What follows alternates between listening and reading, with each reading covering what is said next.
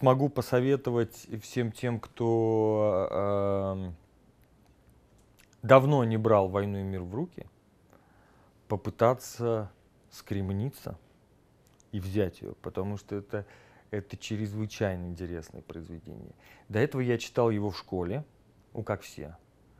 То есть э, мальчики пролистывают мир, девочки войну.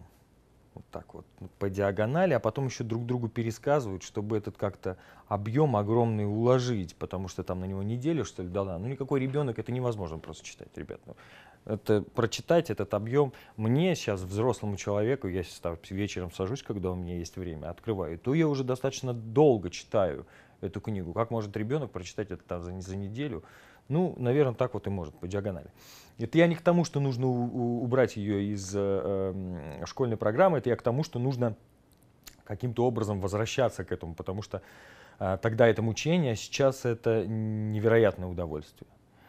Э, и все рассуждения э, Толстого о этом быту этих полупровинциальных людей и там о этих, э, так сказать, о, о семьях, о этих балах, о, там, о Ростове, о Балконском. Это все, конечно, прекрасно. И о Отечестве, и вот все эти политические э, мотивы, там, мотивы войны или антивоенные мотивы, там все это замечательным образом раскрывается. Вот я советую всем, кто, э, кто еще не перечитал, попробовать перечитать, потому что это, конечно, фантастика.